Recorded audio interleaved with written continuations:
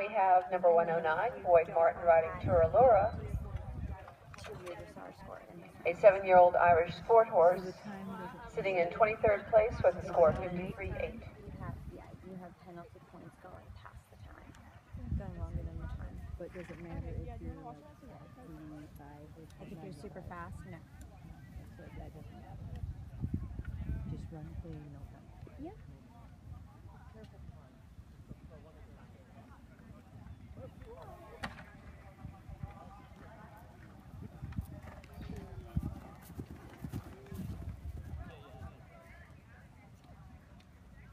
Is cross country time this week?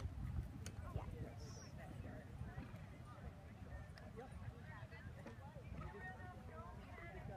So everything goes off of the. Yep.